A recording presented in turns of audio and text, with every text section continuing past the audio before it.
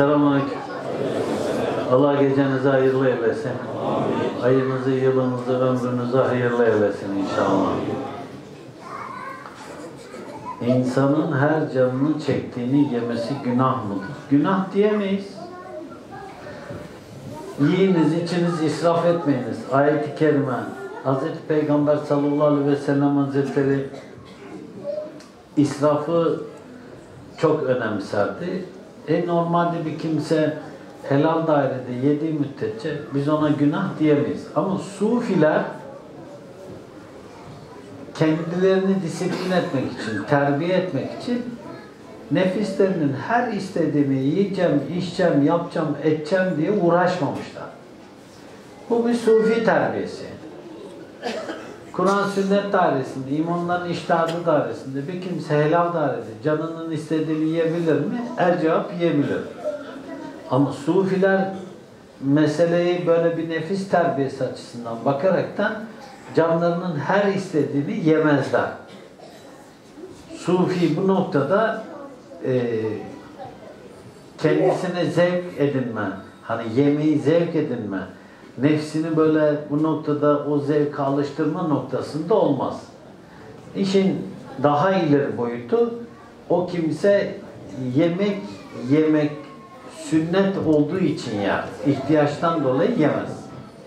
Onu da ihtiyaç görmez.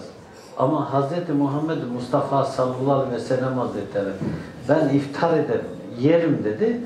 İftar etmek yani oruç tutup iftar etmek aynı zamanda yemek yemek de sünnettir. Bir kimse yemek yerken ben aynı zamanda sünnet işliyorum düşüncesiyle yemek yerse yemek yeme eylemi onun ibadet olur. Çünkü o sünnet kastıyla yiyor. Siz suyu o Hz. Muhammed Mustafa su içti. Ben de sünnet kastıyla su içeyim diye suyu içerseniz mesela o su içme ibadet olur. Neden biz üç yudumda içmeye gayret ediyoruz? Yani aklımıza ne geliyor? Sünnet diyoruz. Bakın hem su içmek sünnettir hem de e, üç yudum e, suyu üç yudumda içmek sünnettir. Bir kimse e, su içmeyi de kendisine sün- sünnet olarak kendine adapte ederse o zaman bir su içmeden iki sünnet çıkmış olur. iki ibadet çıkmış olur. O yüzden normalde biz her canımızın istediğini yiyip içmeyiz. Bu sufi terbiyesi değildir. Her canının istediğini yiyip içebilir misin? Helal mıdır? Evet. Ama sufi terbiyesi olarak her canının istediğini yemek için koşmazsın. Sufi dünya zevklerine, dünya tatlarına koşmaz. Ama bu yemez manasında değil. Bu söyleyince önüne denk gelirse eyvallah. Yapacak bir şey yok. Fazla konuşmak muhabbeti sevmekten mi kaynaklanır? Yoksa aşırı yemek düşkünlüğü müdür? Fazla konuşmayı da çok uygun görmemişler. Susmak bu noktada fazilet olmuş. Bir kimse hani hadis-i şerifte ya hayır söyle ya sus hadis-i şerifi mucibince o kimse boş lakırtı yapmayacak. Ha bir kimse ya hayır söyle ya sus bakın Kur'an ve sünneti tebliğ etmesi doğru yerde doğru noktada doğru insanlara tebliğ etmesi bu noktada mükemmel bir ibadettir. İkincisi o kimsenin konuşması e, rızkını temin etmeyle alakalı. Çoluğunun çocuğunun rızkını temin etmeyle alakalı. Konuşması caiz görülmüş, cevaz verilmiş buna. Bunda bir sıkıntı yok. Ama normalde örneğin insanları güldürmek için konuşanlar, insanları eğlendirmek için konuşanlar, bunlar caiz görülmemiş. Veyahut da insanları eğlendirmek için işte şarkı türkü çağıranlar. Onların bu kazançları haram görülmüş. Neden? İnsanları eğlendirmek için şarkı türkü çağırdı. O kazancı haram görmüş Hanefiler. Bakın şarkı türkü dinlemek farklı bir şeydir. Bakın dinlemek farklı bir şeydir. Oradan para kazanmak farklı bir şeydir. Oradan para kazanmayı caiz görmemiş Hanefiler. Demişler ki oradan para kazanırsa kazandığı para haram olur. Onlar şeytanın borazancılarıdır diye hadis-i şerif var. O yüzden konuşmayla alakalı bir kimse dilini tutmayı bilecek. Bir mecliste dilini tutacak, bir toplulukta dilini tutacak. Üstadının yanında dilini tutacak. Zakirinin yanında dilini tutacak. Büyüklerinin yanında dilini tutacak. Her şeye maydanoz olmayacak. Her şeye atlamayacak. Müsaade edilirse konuşacak. Yani o bunlar titizlikle davranacak. Allah rahmet eylesin. Şeyh Efendi yanında götürmezdi. Yanında götürmezdi. Böyle ikide bir de konuşan, ikide bir de bir şeyler söylemeye çalışanı hatta ben zaman zaman kafasını dahi çevirmediğini bilirim. Yani bir sefer çeviriyor, dinliyor. O anlattı, tamam söyledi. Ona cevap verdi. Tamam. İkinciye bir daha. Eline tesbih almış, çat çat çat çat çat zikrullah yapıyor. Veyahut da normalde, normal şartlarda normalini arayacak o kimse. Mesela bir kimsenin sözünü kesmeyecek. Araya girmeyecek. Ben bunu hep zakir kardeşlere tavsiye ederim. Derim ki yanınızdaki derviş kardeşiniz sizi arkadaşı gibi görür. Bir yere sohbete gidersiniz, sizin lafınızı keser. Yanınızda götürmeyin. İşte bundan bizim evde yoktu. Deyiverin. Sizin gardınızı düşürür. Yanınızda götürmeyin. Çok yemek yiyor. Yanında götürme. Çok konuşuyor. Yanında götürme. Her şeye maydanoz oluyor. Yanında götürme. Seni dinlemiyor bir yere gittiğinde. Kafasına buyruk bir şey yapıyor. Yanında götürme. Bunlar olmazsa olmazlardır. Senden fazla biliyor. Sana soran oldu mu? Yanında götürme. Kim olursa olsun. Yolculukta, sufilikte, yolculukta, sufilikte yolculuğa çıktın. Ne diyor? Üç kişi olduğunuzda birisini imam seçiniz. Birini imam seçti. Ona tabi ol. Ona itaat et. Ve orada bir zakir var. İtaat et kardeşim ona. Kur'an sünnet tarihinde sana bir şey söylediğinde, yolla alakalı sana bir şey söylediğinde itaat et. İtiraz etme. Biliyor mu havasına girme. Düzelteceğim de uğraşma. Hani Hazreti Pir'in bir sözü var ya, Allah diyor onun eğrisini doğru eder de senin doğrunu kabul etmez diyor. Onun eğrisini doğru eder. Ama sen diyor senin doğrun havada kalır. Sen kendi kendine doğru bildiğini düşünürsün. O onun söylediğini hayra çevirir. Onun söylediğini isabet ettirir. Sen o yol kısa dersin kendi kendine, zahiren de kısadır. Ama o der ki buradan gideceğiz, orası daha kestirme der. Sen dersin ki ya burası daha uzundu da daha kısa yerden gideyim. Orada bir trafik kazası olur, bir bir şey olur. Tıkanırsın orada 5 saat. Ondan sonra der sana buradan git demedim mi? Sen başlarsın artık.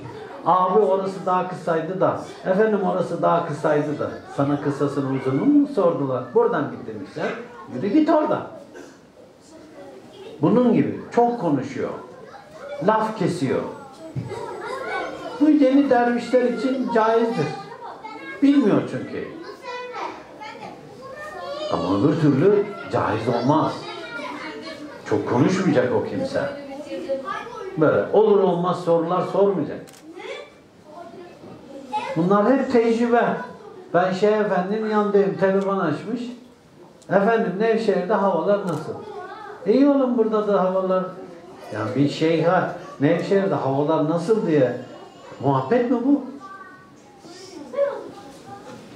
Bir kimse üstadına telefon açtığında soracağını sorur, alır cevabını kapatır. Bu onun asker arkadaşı sanki. Efendim Nevşehir'de havalar nasıl? Oraya kar yağdı mı? Sonbahar. Yok yağmadı daha oğlum. Yok şöyle oldu mu? Yok olmadı daha oğlum. Hadi selamünaleyküm, aleyküm selam. Ben böyle kaldım. Allah'ım dedim ya Rabbi ya Resulallah. Ben bu adamın zakir olmak istemem dedim asla.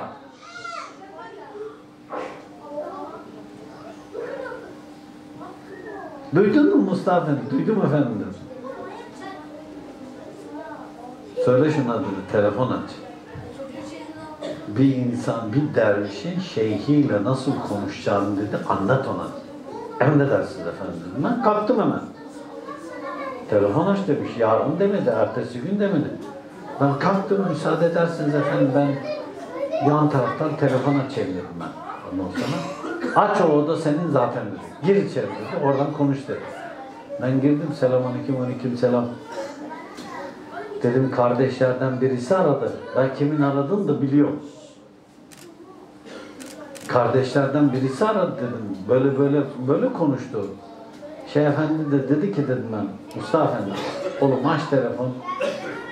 Bir şeyhle nasıl sohbet edileceğini onlara anlat.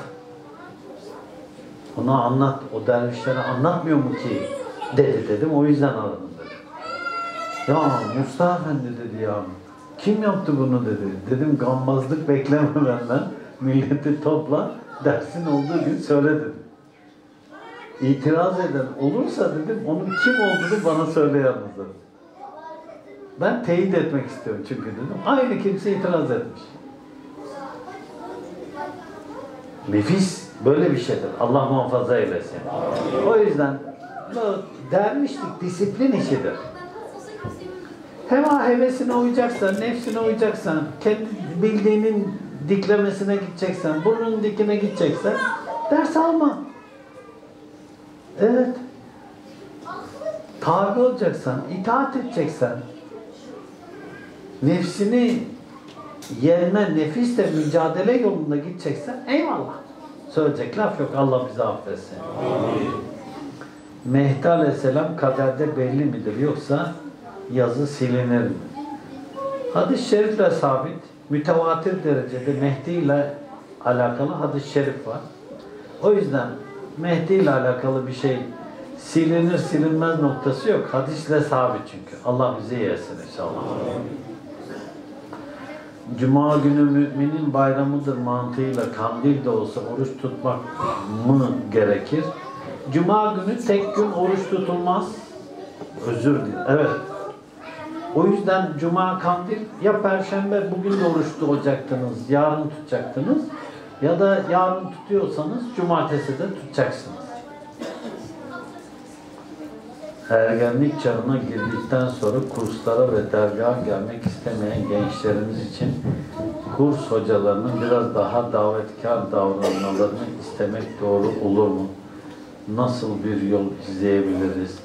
Bu noktada evet yani bu ergen kardeşlere hem erkek hem bayanlara semadır, bendirdir, ney kursudur.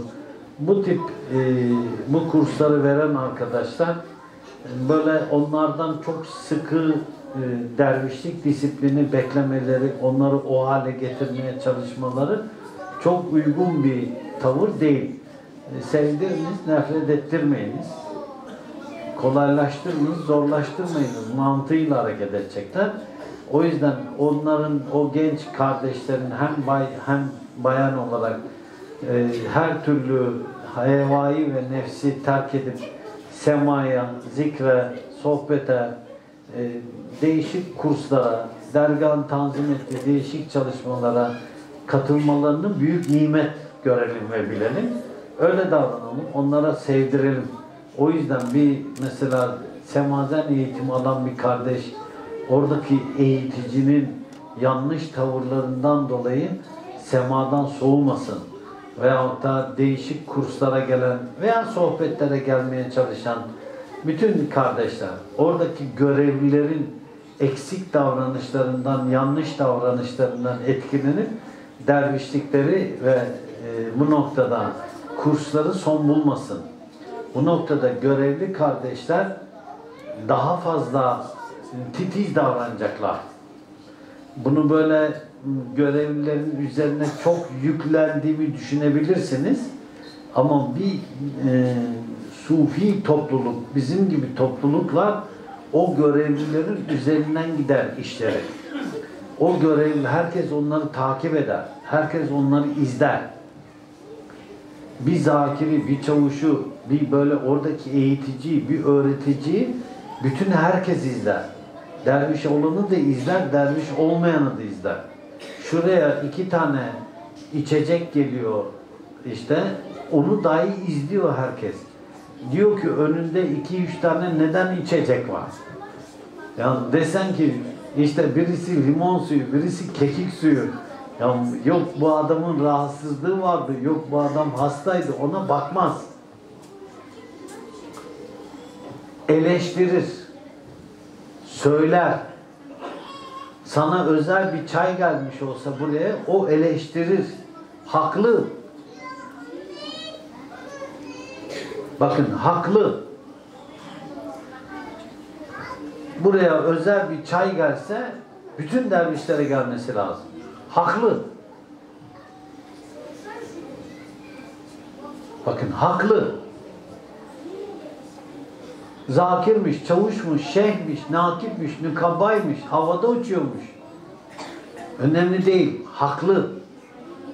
O yüzden hiçbir zakir kardeş, hiçbir çavuş kardeş, hiçbir kursları takip eden, kurs veren, eğitimlere giden arkadaşlar kendilerine özel bir şey yaptırmayacaklar. Yapmayacaklar. Kendilerine bir özellik yaptırıyorlarsa, yaparlarsa dergahın hakkını yerine getirmemiş olur. Zaten bunu da defalarca söyledim. Hakkımız helal değil diye. O yüzden hiç kimse kendisine bir özellik yaptırtmayacak. Hiç kimse. Çünkü o kursa gelen, oraya zikrullah'a gelen, oraya derse gelen bir kimse. Onu takip eder. Der ki vay bir yerde sohbete gidiyorum. Zakirlik zamanında. Şimdi kadıncağız şey yapmış. Bizim o tarafta böyle işlemeli tepsiler vardır. Tepsiye koyar, tepsinin üzerinde de çeyizden işlemeli tepsi örtüleri vardır eskilerden. Şimdi kaldı mı kalmadı mı bilmiyorum. Kadıncağız böyle özenmiş. işte o işlemeli tepsisine ondan sonra o özel işte e, yeni gelin onun babasına onunla kahve götürür. İşte kayınvalidesine, kayınpederine ne bileyim işte çok önemli oğlanın amcası geldi, yok dayısı geldi. Onlara kahve bizim orada öyle özel giderdi önceden. Şimdi kaldı kalmadı bilmiyorum. Arnavutlarda var mı öyle bir şey? Var mı? Devam ediyor yani. Evet. Maşallah iyi. Arnavutlar adetlerine, geleneklerine çok düşkündürler de o yüzden sordum Arnavutlarda devam ediyor mu diye. Devam ediyor demek ha? Vay maşallah subhanallah. Güzel şeyler bunlar. Şimdi böyle o kızcağız da böyle hazırlamış ondan sonra onunla bana kahve getirdi. Ben içemedim kahveyi. Bana böyle özellik yapıldı diye. Kahve duruyor şeyde, sehpada. Tepsi de duruyor. Sohbet bitti, her şey bitti. Ondan sonra. Ben utancımdan içemedim. Bitti her şey. Velatlar namin. Ben geçtim yanımda ya. Ondan sonra aldı o kadıncağız oraya getirdi. Dedim hakkını helal et, özür dilerim. Dedim orada içemedim. Herkesin önünde dedim böyle süslü, şatafatlı dedim bir şey yapamadım. Özür dilerim senden dedim. Hakkını helal et. Ondan sonra estağfurullah abi işte şöyle işte böyle dedim olsun olsun. Dedim biz dedim böyle arkadaşların önünde, cemaatin önünde böyle yapmamaya gayret edelim dedim inşallah dedim. Sen bir daha sohbete geldiğinde bana dedim herkesin içerisinde böyle kahve getirme. Ben kahveciyim ya önceden beri. Ben günde 10 tane kahve olsa içerim. Ya bugün çok kahve içtim demem. Öyle bizde ben de bir şey oturdu, yerleşti yıllardan beri. E şimdi sakın ha kahve içmeyeceğim başka. Getirmeyin. bir tane içtim. Allah bereket versin. Şimdi bir daha oraya gittiğimde tabi normal işte çay bardağına böyle tabaklar işte herkese geldiği gibi çay geldi. Tabi herkese beraber içtim. Ondan sonra oradan birisi dedi. Abi dedi geçen sefer dedi tepsinin içinde geldiğinden geldiğinden dolayı mı içmedin? Evet dedi. Aradan zaman geçti. O arkadaşla başka bir şehirde karşılaştık. Oranın zakirine böyle tepside özel çay getirirler. Bir tepsiye baktı, bir bana baktı, bir o zakire baktı. Ondan sonra ben işaret ettim seslenme diye. Tabi o Zakir Efendi de bir güzel çayı içti. Tepsinin içerisinde, özel tepside. Ondan sonra neyse kalktık şey efendi de oraya geldi. Bir başka birisi getirdi. Abi aranızdaki fark bu işte. Dedim estağfurullah o arkadaşlar da pişecekler, yetişecekler dedim. Şimdi o yüzden evet konuşmalarımıza dikkat edeceğiz. Çok konuşmayacağız. Tavırlarımıza dikkat edeceğiz. Dikkat edeceğiz. Hal ve hareketlerimize dikkat edeceğiz. Helal deyip de bütün her şeyi götürmeyeceğiz. Ya ne var bunda canım? Süslü tepside içi verelim. Demeyeceğiz. Kendimize ayrı bir özellik katmayacağız. O yüzden bir şey mi yenecek? Orada kursta kaç kişiyiz? Beş kişiyiz. Beşimiz beraber yiyeceğiz. Bir şey mi içilecek? On kişiyiz. Onumuz beraber içeceğiz. Bir şey mi ikram edilecek? Kaç kişiyiz? Yirmi kişiyiz. Yirmimize de ikram edilecek. Allah muhafaza eylesin. Cenab-ı Hak cümlemizi bizi korusun inşallah. Bugün bir kardeş geldi, bir şey paylaştı benimle.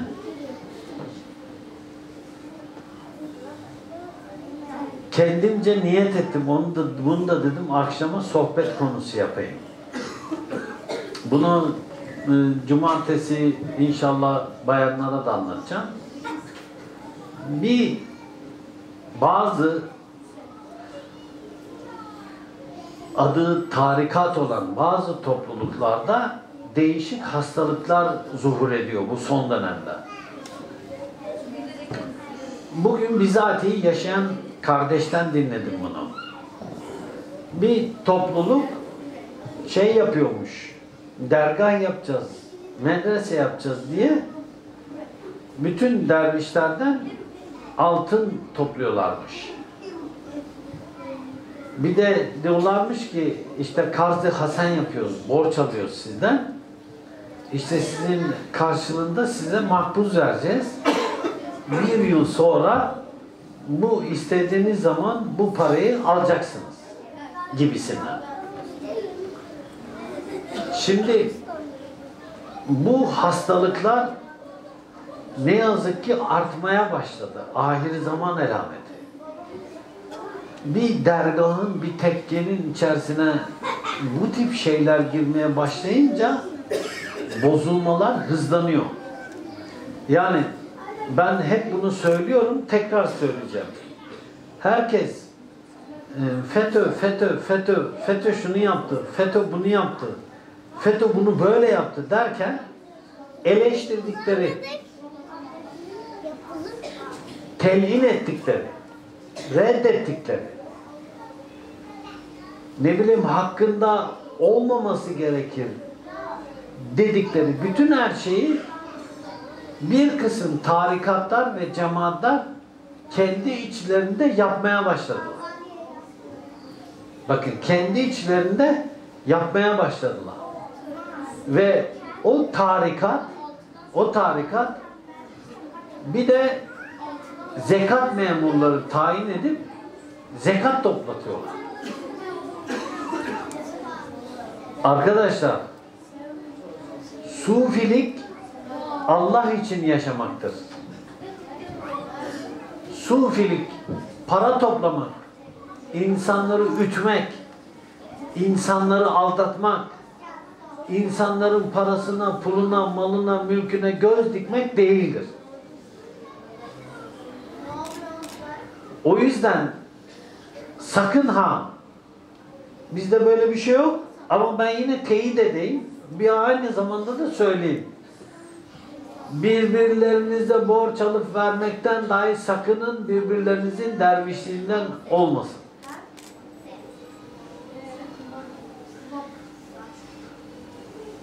Birbirlerinizden borç alıp vermekten dahi sakının. Adam borcu ödeyemiyor. Ödeyemeyince ben orada nasıl yüzüne bakacağım diyor dervişliğinden oluyor. Allah muhafaza eylesin. Bizim içimize para girmesin. Allah muhafaza eylesin. Böyle dinledim şok oldum. Dedim ya bu böyle olmaz. Dedi ben verdim dedi kadıncağız. Ben kendim verdim dedi. Dedim eline bir belge aldın mı? Hayır dedi. E dedim bir ahitlerinizi yazınız diyor dedim. Yazılı bir şey aldın mı? Vereceklerini söylediler dedi. Vermediler dedi. Allah muhafaza eylesin. Cenab-ı Hak cümlemizi korusun inşallah. 51. hadise gelmişiz. İbn Abbas naklediyor.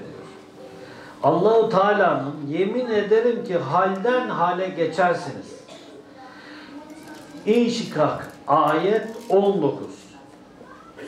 Ayetindeki zikredilen bu halden başka bir hale geçmek hususunda İbn Abbas'ın şöyle demiştir.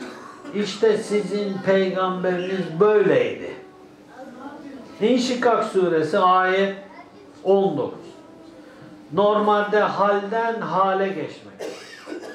Ehli tasavvuf halden hale geçmeyi pozitif anlamda bu ayet-i kerimeyi kendisine ölçü al. Ve Hazreti Abbas'ın oğlu Abdullah'ın naklettiği bu hadis-i şerifte de işte peygamberiniz böyleydi dediği şey Hazreti Peygamber sallallahu aleyhi ve sellem hazretlerinin her daim halden hale geçmesi ve bir halde karar kılmaması, bir halde saplanıp kalmaması, her daim onun Allah'a yaklaşmada, Allah'ı tanımada, bilmede bir öncekinden daha ileride olması ve bu seyr sülüğün sonsuz olduğunu gösterir. Bu seyr sülüğün devam edeceğini gösterir. Bu Allah'a yaklaşmanın devam edeceğini gösterir. Ve bir kim, bir sufi, bizim sufileri ilgilendiren tarafı bu. Bir sufi hiçbir zaman durağan değildir. O her daim iyiye, doğruya, güzele, hakikatin hakikatine doğru halden hale geçmesi gerekir. Eğer bir sufi iyiye, doğruya, güzele, Allah'a yakınlayan, Allah'ı bilme noktasında halden hale geçmiyorsa bir, o sufi zarardadır. Bu sefer onun e, halden hale geçmesi negatifliğe doğru gider. Yani esferi safiline doğru gider. Allah bizleri en güzel surette yarattı. En güzel şekilde yarattı. Ayet-i kerimede diyor eğer siz heva hevesinize uyar, nefsinize uyar, şeytana uyarsanız aşağıların aşağısına gidersiniz. Hayvandan daha aşağı mahluk olursunuz. Bunun normalde halden hale geçmede bir de işin negatif tarafı var. Biz pozitif tarafını anlatıyoruz şimdi. Diyoruz ki halden hale geçmek o kimsenin seyir sülükunun sonsuzluğuna. Çünkü Allah'ı bilmenin sınırı yoktur. Allah'ı tanımanın sınırı yoktur. Allah'a aşık olmanın sınırı yoktur. Allah'ı sevmenin sınırı yoktur. O kimse sevdikçe sever, sevdikçe sever, sevdikçe sever. O daha danında daha dası vardır.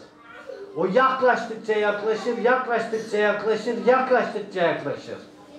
Günü gününe müsavi olan, yani günü gününe denk olan zarardadır dedi Hazreti Peygamber sallallahu aleyhi ve sellem. O zaman o kimse günü gününe denk ise zararda, Allah'ı tanımada, Allah'ı bilmede daha ileriye gitmeli. Allah'ı zikretmede daha ileriye gitmeli. Allah'ı sevmede daha ileriye gitmeli. Allah'a yakınlaşmada daha ileriye gitmeli. Allah'a dostlukta daha ileriye gitmeli. Ariflik bilmektir. Haliliyet ise dostluktur. Bilmek de dostluk yan yana, kol koladır. O zaman bilmekle dostluğun sonu yoktur. Arifliğin sonu yoktur. Arif bu manada yani Allah'ı bilme noktasında yürüyen kimse sonsuz bir şekilde koşmaya devam eder. Sufilik sonsuz bir koşudur çünkü. O böyle belli bir zamana, belli bir mekana, belli bir sınıra dayalı bir koşmak değildir. Sufilik zamana, mekana bakmaksızın, sınıra bakmaksızın her daim yakınlığı isteyip yakınlaşmaya çalışmaktır.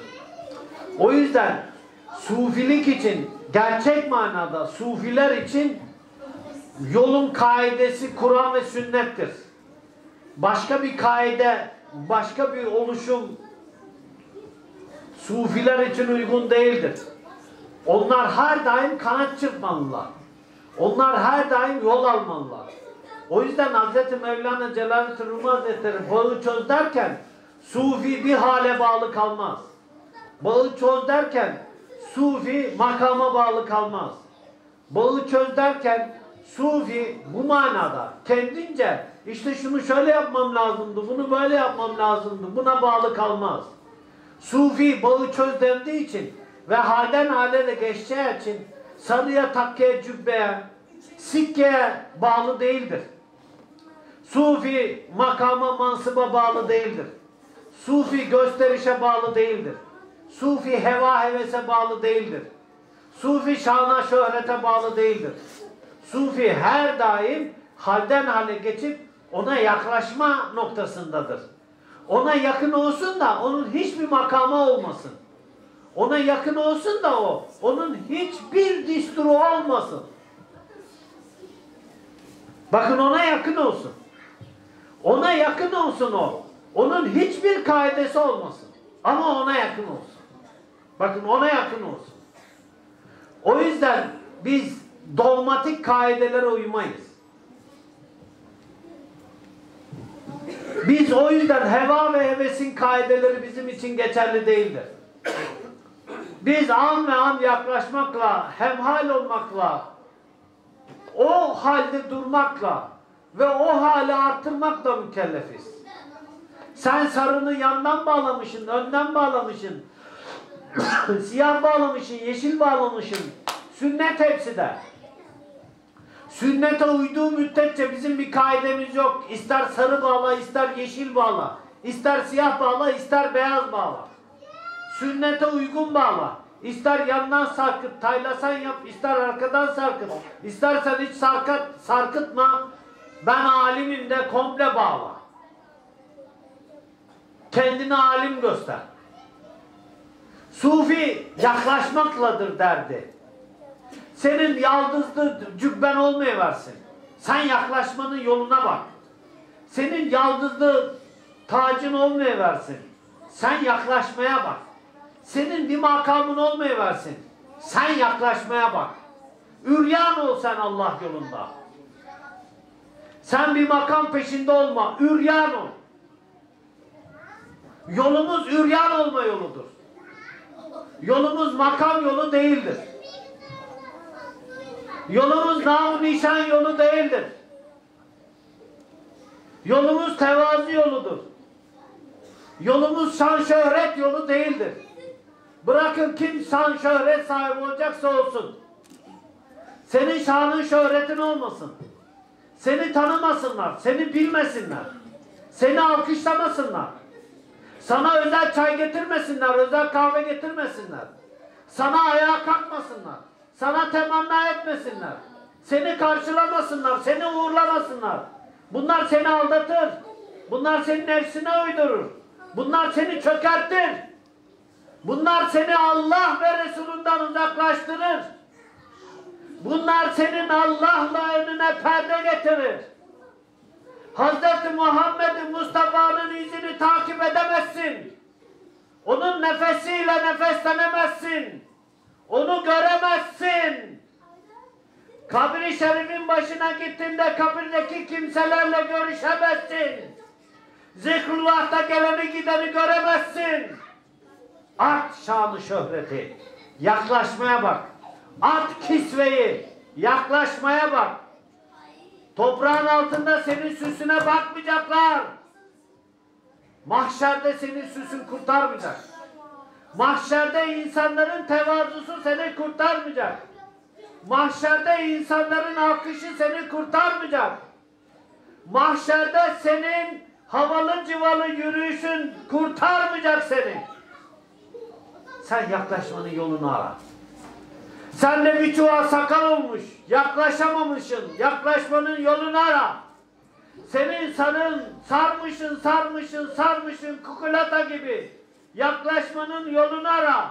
Senin cübben kadar yaldızlı, yıldızlı cübben olmamış. Yok kimsede. Sen yaklaşmanın yolunu ara. Nice cübbesizler var. Hz. Muhammed Mustafa'nın dizinin dibinde oturuyor. Nice nişansızlar var. Hz. Muhammed Mustafa'nın dizinin dibinde oturuyor. Nice namsızlar var. Nice şöhretsizler var. Hz. Muhammed Mustafa'nın gönlünde taht kurmuş. Sen ona bak.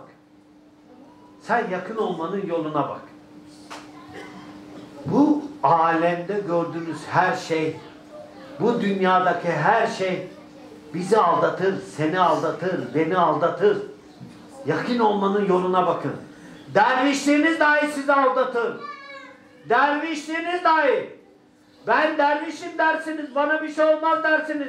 Aldanırsınız. Aldatır. Bir şeyhe intisap etmeniz dahi sizi aldatır. Bir şeyhin dizinin dibinde dahi olmak sizi aldatır. Sakın ha.